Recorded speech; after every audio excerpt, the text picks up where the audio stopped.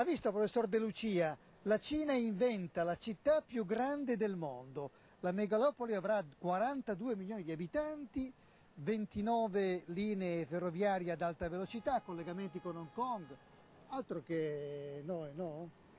Ma noi è un problema che non, non ci riguarda. Non ci riguarda, no? No, non ci riguarda perché noi non dobbiamo, per nostra fortuna devo dire, costruire nuove, nuove città.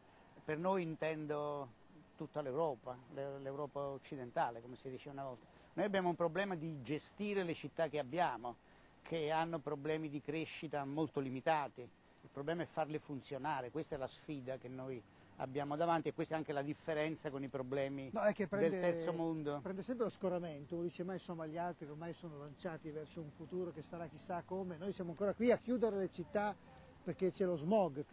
Eh, eh sì, noi abbiamo ritardi mm, enormi sul piano, su tanti piani. Insomma, no, solo che lo chiedo a lei, perché lei è un grande urbanista, però lei è stato al Ministero dei, lavori, anni, sì, de, anni dei lavori pubblici, è stato assessore nella prima giunta Bassolino a Napoli, a Napoli insomma, quindi ha toccato con mano diverse, diverse realtà. Insomma, no? Sì, io credo che appunto il problema della, della mobilità e dell'accessibilità sia il problema più vistoso col quale oggi, oggi ci misuriamo e devo dire anche quello più, più trascurato.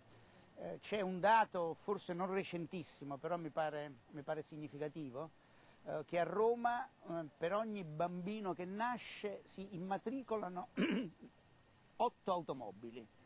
Questo, dato questo, spaventoso. dato spaventoso. Questo dà l'idea di quanto siano drammatici i problemi che abbiamo, soprattutto eh, dal punto di vista dell'uso sconsiderato dell'automobile, cioè l'unica risposta eh, o meglio la risposta più, più praticata al problema dell'accessibilità della, del traffico è quello individuale, quello dell'automobile. Però lei mi faceva osservare prima una cosa interessante, che le città si sono svuotate di alcune funzioni fondamentali e sì, hanno determinato... Sì, sì, no, questo è uno dei guai, perché per esempio a Roma, ma in quasi tutte, a Milano sicuramente, in tutte le grandi città italiane, che succede? Che gli abitanti si allontanano dalle aree centrali, prima si sono allontanati dal centro storico a Roma, poi dalle aree dentro la cintura ferroviaria, poi dalle aree interne al grande raccordo anulare e vanno eh, o in estreme periferie o nei, comuni, o nei comuni limitrofi. Per dirla con uno slogan, eh, il modello attuale della città è lavoro dentro, abitanti fuori.